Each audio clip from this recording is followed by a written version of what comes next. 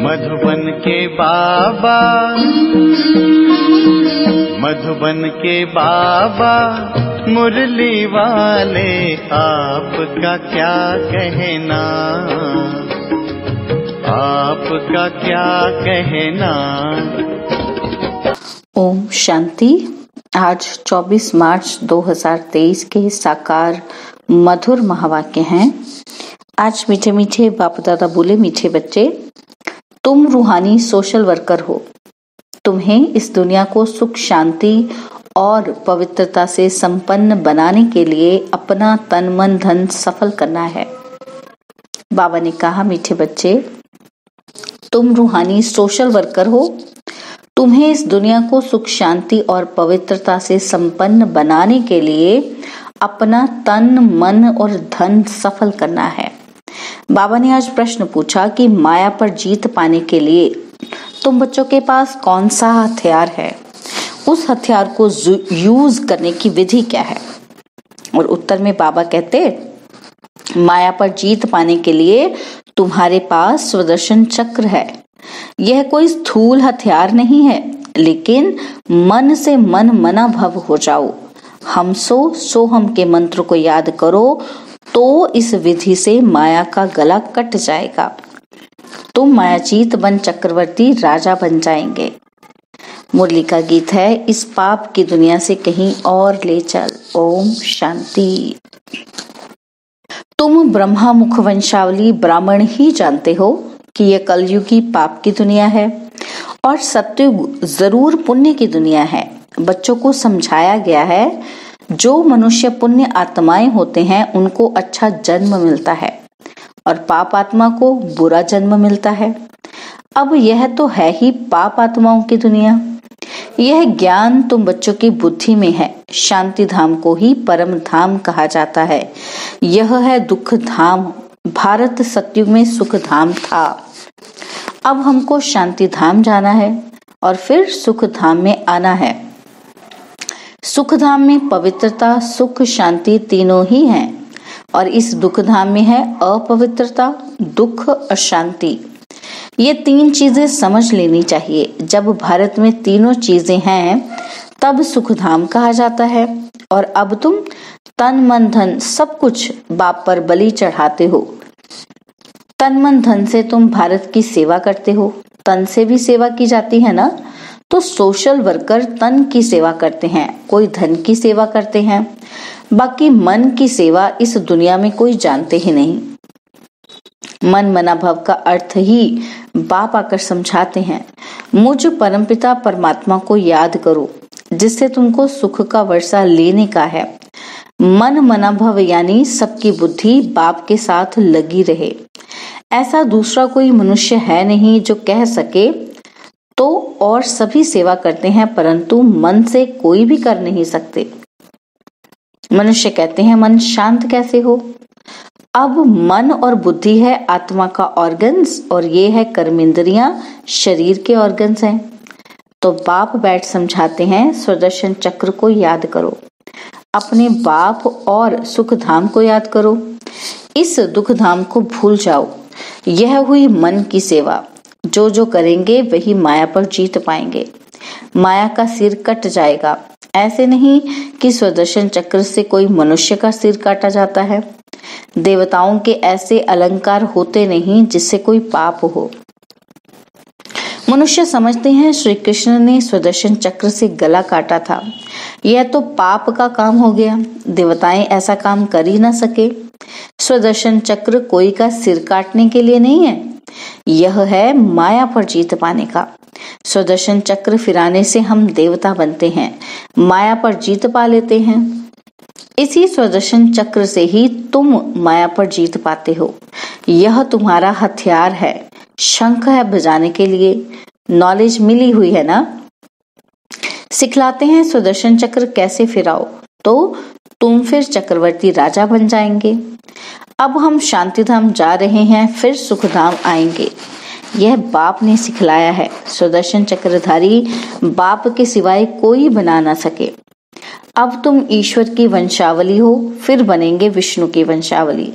स्वदर्शन चक्र का अलंकार भी विष्णु को दिया हुआ है। तुम हो पुरुषार्थी। तुम जानते हो स्वदर्शन चक्र फिराने से हम देवता बनते हैं। इसी स्वदर्शन चक्र से ही तुम माया जीत बनते हो। ये तुम्हारा हथियार है। शंख है बजाने के लिए। नॉलेज मिली हुई है ना? सिखलाते हैं सुदर्शन चक्र, फिराओ। कैसे फिराओ? तो तुम चक्रवर्ती राजा बन जाएँगे। अब हम शांति धाम जा रहे हैं, फिर सुख धाम में आएँगे। यह बाप ने सिखलाया है। सुदर्शन चक्रधारी बाप के सिवाय कोई बना ना सके। अब तुम ईश्वर की वंशावली हो, फिर बनेंगे विष्णु की वंशावली। स्वदर्शन चक्र फिराने से हम विष्णु कुल में जाएँगे। यह तो बहुत सहज है कोई को समझाना। शांति धाम को याद करो, जो बाप का घर है, जहाँ से आत्माएँ आती हैं। अभी तो नरक है। अब जाना है स्वर्ग में। बाप को याद करने से सब विकर्म विनाश होंगे। परंतु बाप से पूरा योग नहीं है तो धारणा नहीं होती और फिर कोई को समझा नहीं सकते। तुम ब्रह्मा मुख वंशावली ब्रह्मा कुमार, कुमारियाँ हो। जो पवित्र रहते हैं, वही बीके हैं। जो पवित्र नहीं रह सकते हैं, वह ब्रह्मा मुख वंशावली शिव बाबा का पोत्रा कहला नहीं सकते।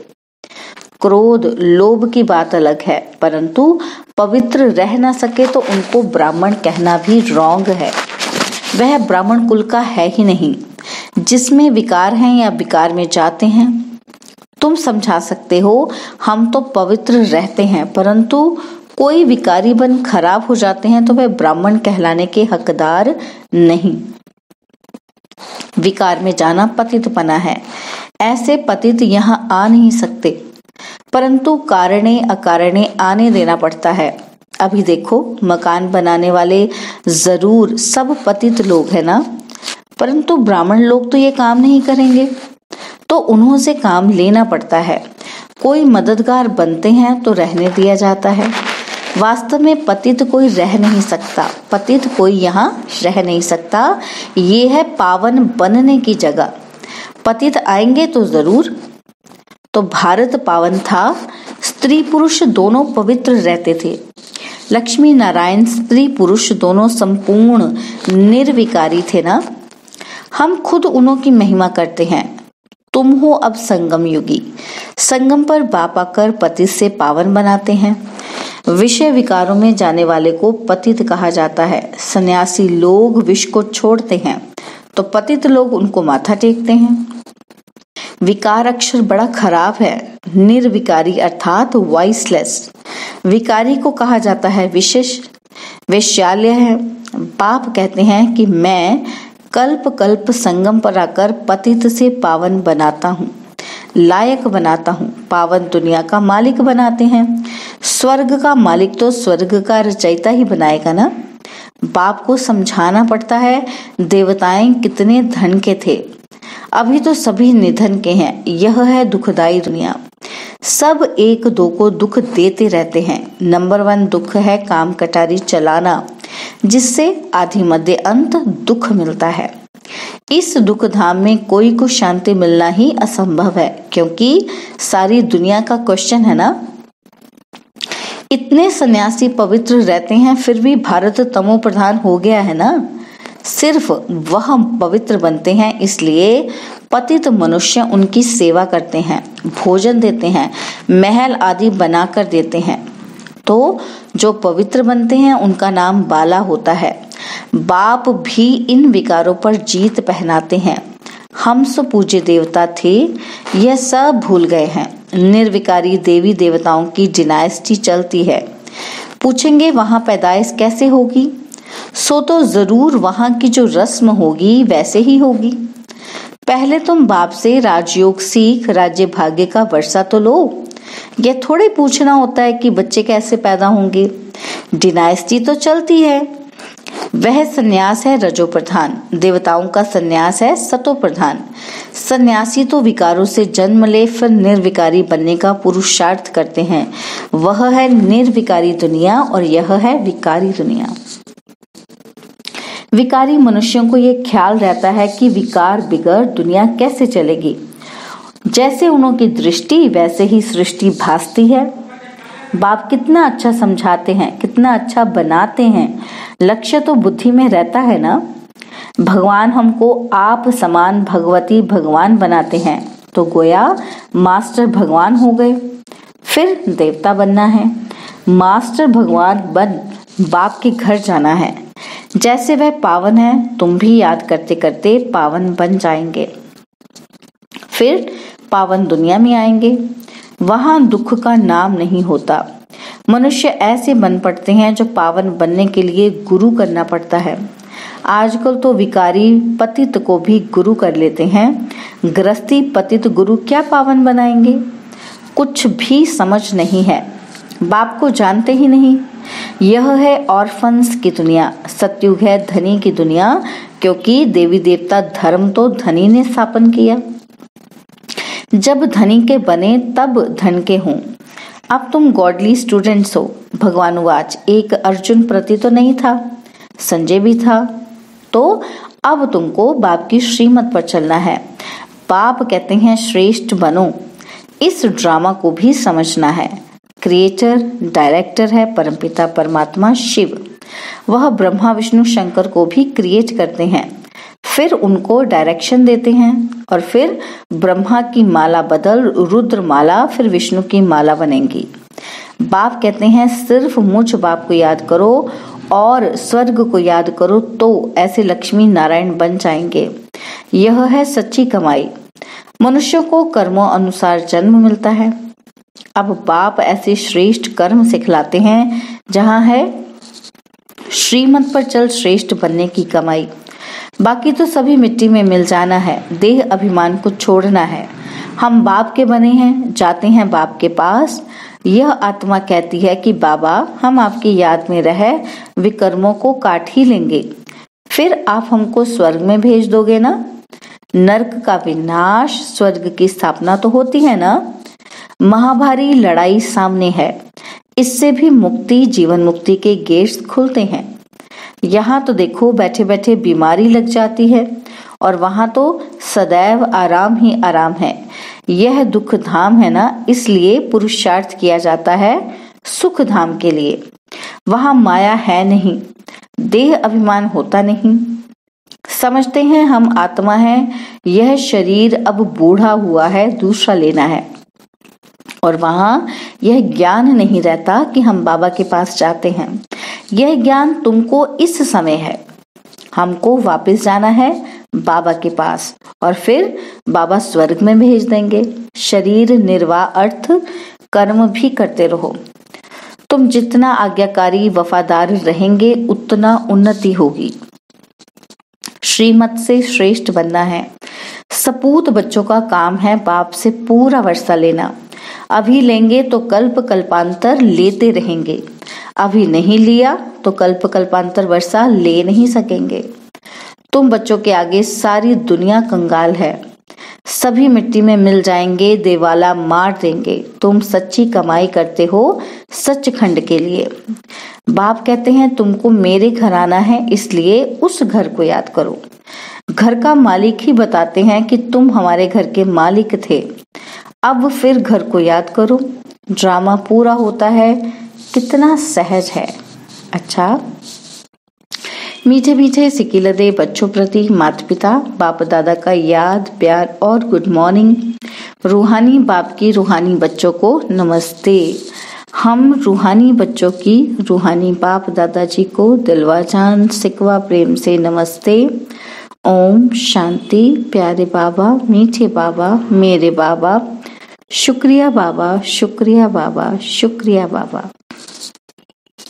धारणा के लिए मुख्य सार है। पहला पॉइंट है, आज्ञाकारी, वफादार और सपूत बन बाप से पूरा वर्षा लेना है। श्रीमत पर श्रेष्ठ कर्म कर सच्ची कमाई करनी है। सेकंड पॉइंट है, संपूर्ण निर्विकारी बन, सच्चा ब्राह्मण बनना है। पावन बन स्वयं को पावन दुनिया के लायक बनाना है। बाबा ने वरदान दिया। एक बाप को अपना संसार बनाकर सदा हंसने, गाने और उड़ने वाले प्रसन्न चित्त भव। एक बाप को अपना संसार बनाकर सदा हंसने, गाने और उड़ने वाले प्रसन्न चित्त भव। कहा जाता है, दृष्टि से सृष्टि बदल जाती है तो आपकी रूहानी दृष्टि से सृष्टि बदल गई। अभी आपके लिए बाप ही संसार है। पहले के संसार और अभी के संसार में फ़र्क हो गया। पहले संसार में बुद्धि भटकती थी, अभी बाप ही संसार हो गया तो बुद्धि का भटकना बंद हो गया। बेहद की प्राप्तियाँ कराने वाला बाप मिल गया तो और क्या चाहिए? इसलिए हँसते गाते, उड़ते, सदा प्रसन्न चित्त रहो। माया रुलाए तो भी रोना नहीं। स्लोगन है साफ़, दिल साफ़ हो तो मुराद हासिल होती रहेगी। सर्व प्राप्तियाँ स्वतः आपके सामने आएँगी। दिल साफ़ हो तो मुराद हासिल होती रहेगी। सर्व प्राप्तियाँ स्वतः आपके सामने आएँगी। ओम शांति। और अब यह एक बहुत अच्छी वीडियो भी ज़रूर देखें।